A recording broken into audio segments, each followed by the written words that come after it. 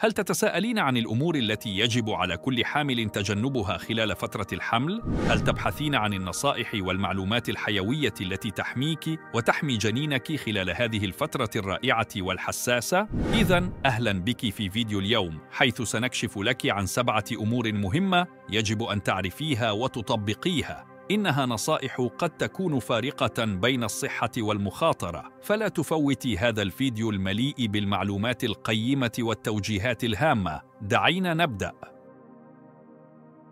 الأسماك عالية الزئبق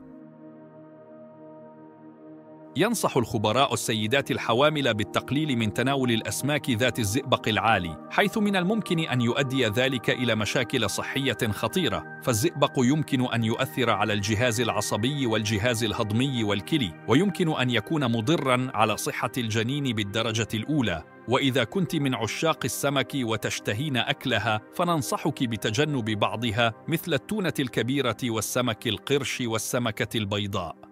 ما عدا ذلك يمكنك اختيار ما تحبين من الأنواع الأخرى مثل سمك السردين والسلمون ويجب الالتفات إلى أنه عند تناول أي نوع من الأسماك خلال الحمل يجب طهيه بشكل جيد للتأكد من التخلص من أي ميكروبات أو بكتيريا قد تكون موجودة فيه. ويفضل تجنب تناول الأسماك النيئة أو غير المطهوة بشكل جيد خلال فترة الحمل. الأدوية بدون وصفة طبية.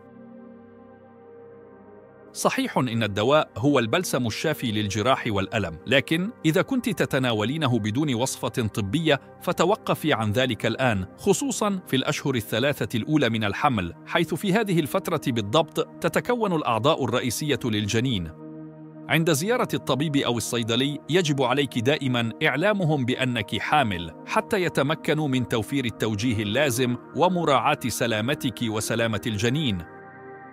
قد تكون الأعشاب الطبية والمكملات الغذائية أيضا مصدرا للأدوية، لذا يجب استشارة الطبيب قبل استخدام أي نوع منها خلال فترة الحمل.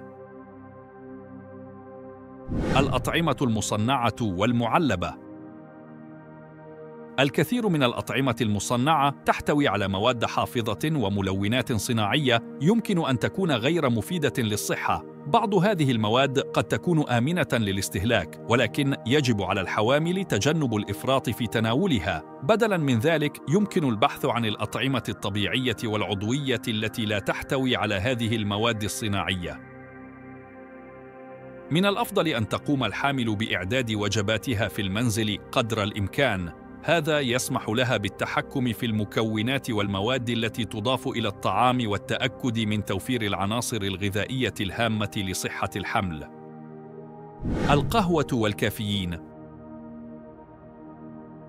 تناول الكافيين هو موضوع يتطلب اهتماما خاصا خلال فترة الحمل، فهو مادة توجد في العديد من المشروبات والأطعمة مثل القهوة والشاي والصودا والشوكولاتة.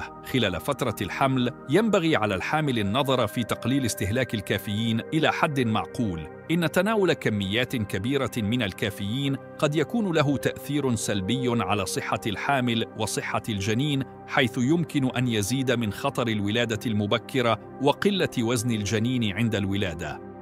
المشروبات الغازية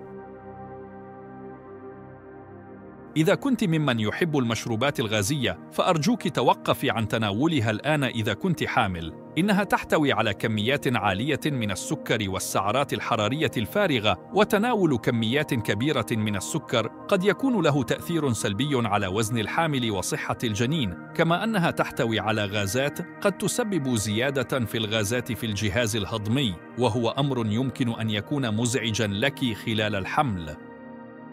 استخدام الهاتف النقال. استخدام الهاتف النقال بشكل طبيعي لا يعرض الحامل لمخاطر إشعاعية ملحوظة ومع ذلك يجب تقليل مدة المكالمات الطويلة واستخدام سماعة الأذن أو السماعات اللاسلكية إذا كنت بحاجة للمحادثة لفترة طويلة. يجب على الحامل الحفاظ على مسافة آمنة بين الهاتف النقال وبطنها. هذا لأن بعض الدراسات قد أشارت إلى وجود تأثيرات محتملة للإشعاع عند الاقتراب الشديد من الجسم. إذا وصلت إلى هنا ولم تضغطي على زر الإعجاب بعد فافعلي ذلك الآن. فهذا يشجعنا على تقديم الأفضل. إذا كانت لديك أي استفسارات أو مزيدا من الأسئلة فلا تترددي في طرحها. نحن هنا لمساعدتك في أي وقت. شكرا مرة أخرى ونتمنى لك حملا سعيدا وصحيا.